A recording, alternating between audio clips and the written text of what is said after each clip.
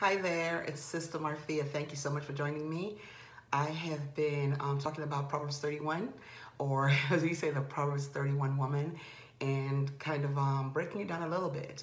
Um, one of the reasons that God has put this in my heart in more is we have we have this all of us including me we have this thing of taking scriptures and dissecting it and taking out the part that we like. And especially in this day and age where we're living, as we know in the last days, we're living in a time when uh, the word is, uh, for some people, does not hold the power that it's, it's supposed to.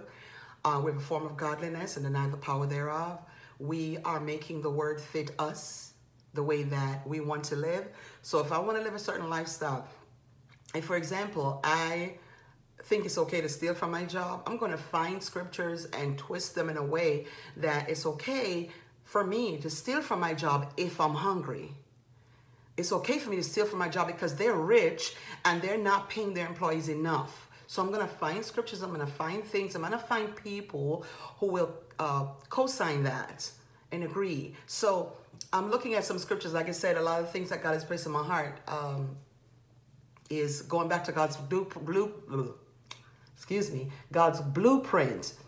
Going back to the Bible, the way that God wrote it, you know, the Bible says that there's no new revelation. The book is written, it's done. There's no one who can come along and add anything to it and change anything about it or say, you know, well, I know what the Bible said, but God gave me something new. No, there's no such thing.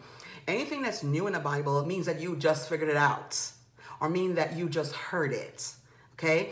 Like this scripture for me, I, uh, Proverbs 31 how many times have we all read it? How many times have we all heard it? How many times have we tried to put ourselves inside of Proverbs 31 and say, that's me?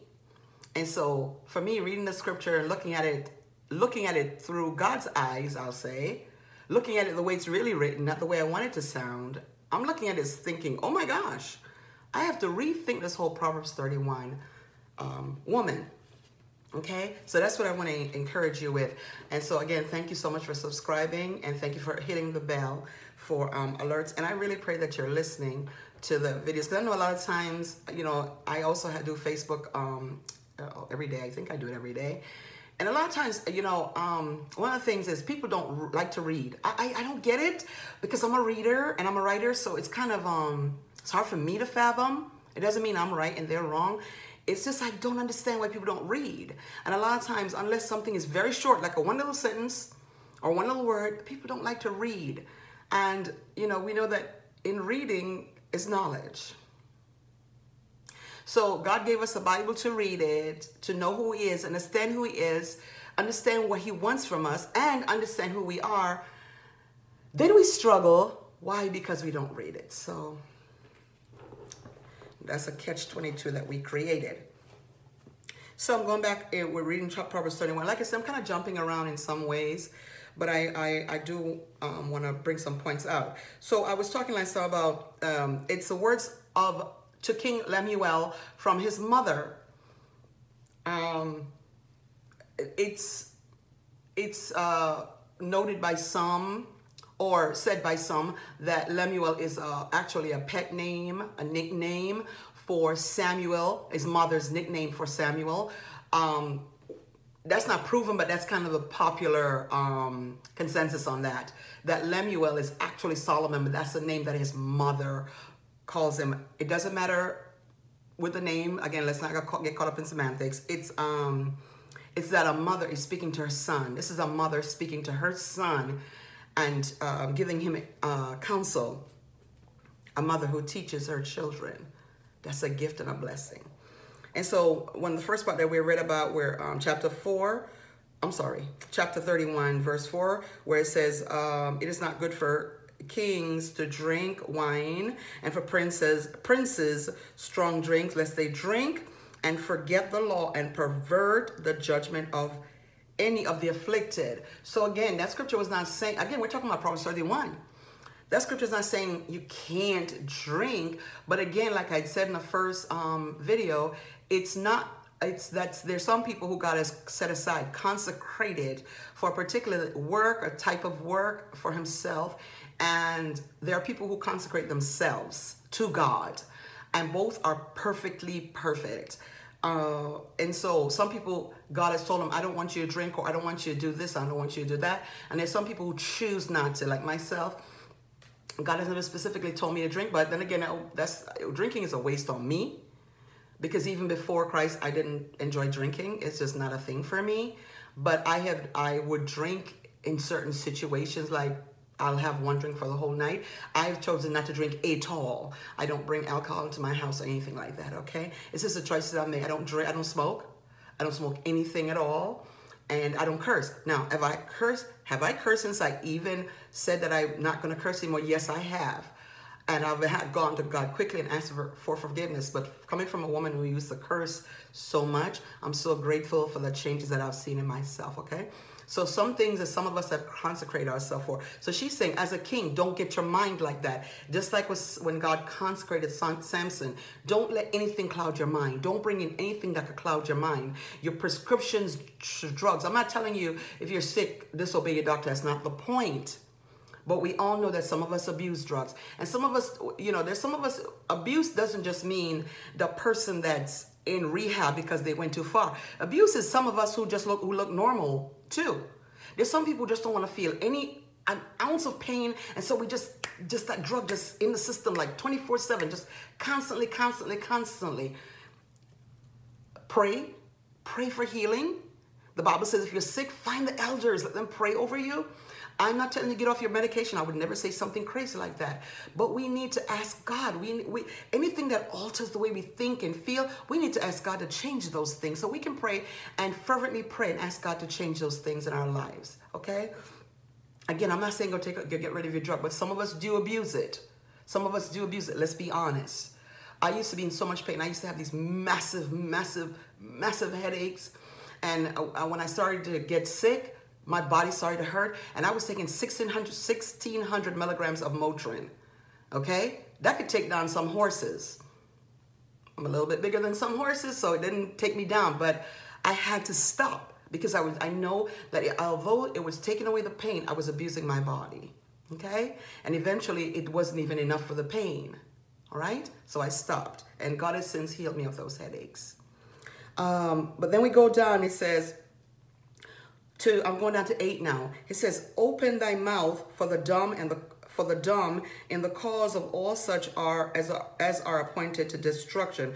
Open thy mouth and judge righteously and plead the cause of the poor and the needy." We're talking about Proverbs 31 woman. I used before um, just talking about real estate and how things have gotten so bad now that there's so many there are so many homeless people. I was in LA, uh, gosh, when was it?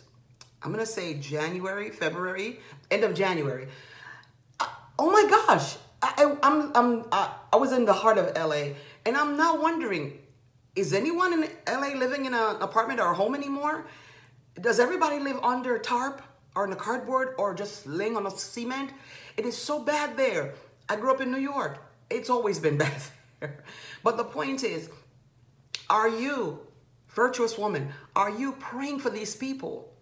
There are people who are not even saved. I know this guy, I when my husband first left and I before I committed to Christ, this man, he's no Christian. Well, he says he is. Trust me, no. The Bible says you know them by their fruit. I knew his fruit. but this guy would grab bags and go to the grocery store and grab bags of soap, lotions, toothpaste, and different things, uh, deodorants, and he would just go down into the city, inner city where most of the homeless were, and he would give them these basic toiletries, basic, base need, basic things. He wasn't buying them expensive anything. He's just buying the base that people need. People need to brush your teeth. People need to gargle. People need to put on deodorant. People need to lotion their skin.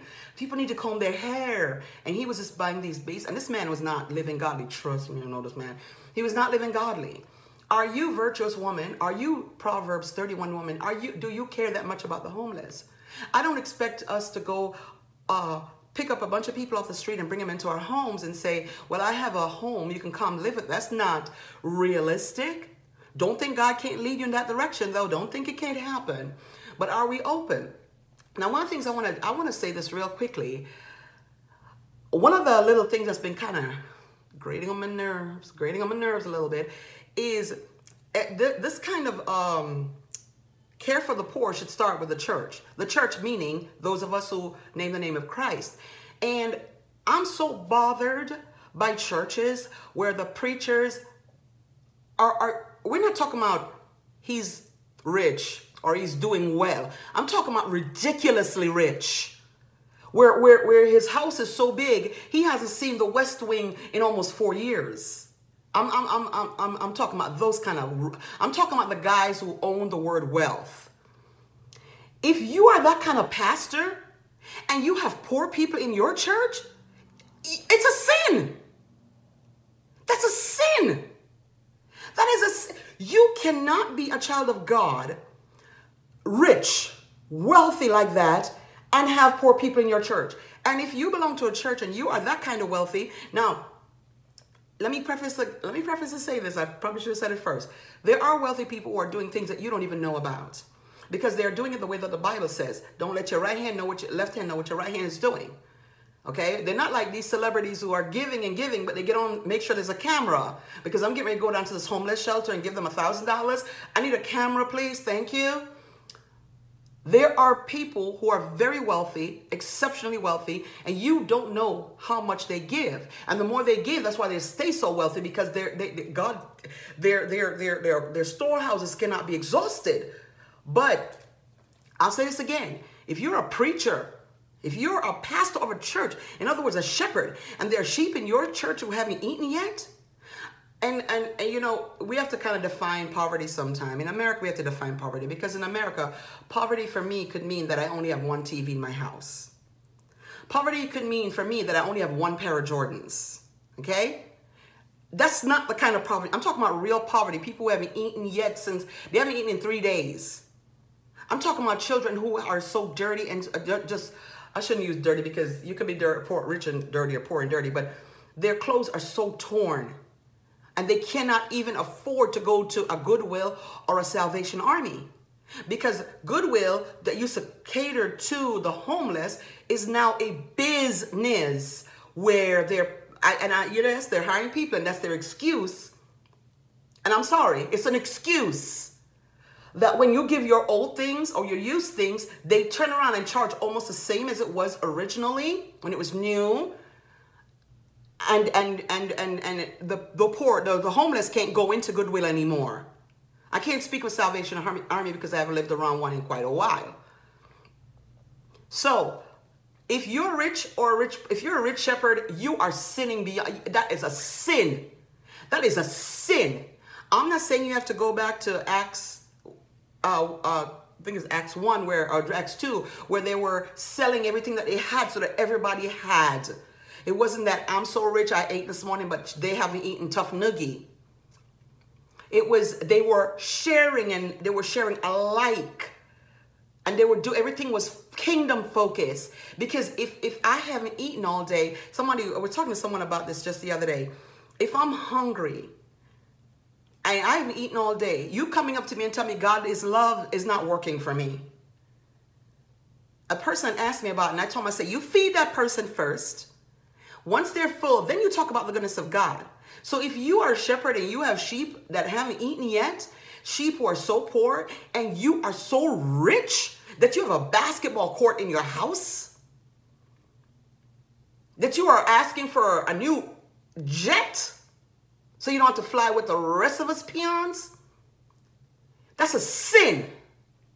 And if you are, are, a church member and not a shepherd and you're rich, it is a sin for you too if you know that people are suffering, but you're going to hold on to yours. Mm-mm, they're going to get theirs like I got mine.